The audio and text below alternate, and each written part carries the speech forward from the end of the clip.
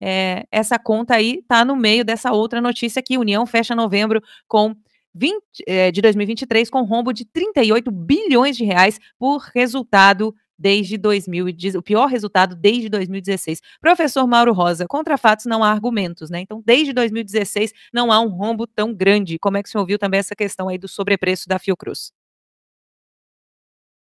Questão é, do rombo, nós já discutimos esse tema de, de outros pontos de vista no, no jornal, é, e ele é mais um sinal do perfil do atual desgoverno, não é?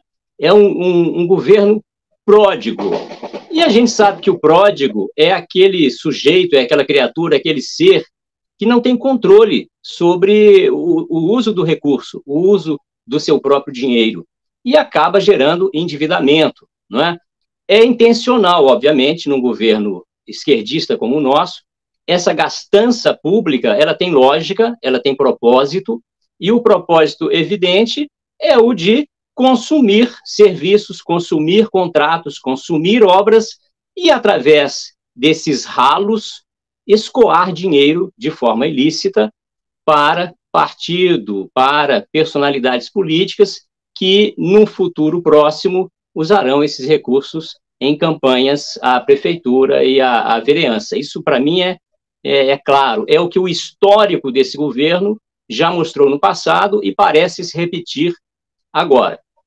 Quanto à questão da, do sobrepreço da Fiocruz, é importante destacar o seguinte: a matéria é, revela que a compra foi feita em 2022, mas é importante frisar que a compra se deu em dezembro de 2022, não é isso? Ela foi finalizada em dezembro de 2022.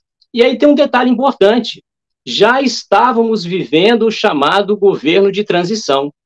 A equipe Bolsonaro já havia passado todos os, todo o histórico das ações e a equipe Lula já estava, inclusive, nomeada e já recebendo salário nesse período aí, né? Não me espanta, viu, Andréia? Não me espanta esse tipo de prática.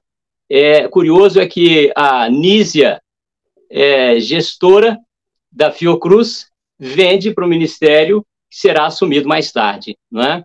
É mais uma lambança típica do, do PT. Perfeitamente, ótima lembrança, né? A Anísia, então, ela era a pessoa que, que comandava ali a Fiocruz, vendeu e depois pegou o ministério, né?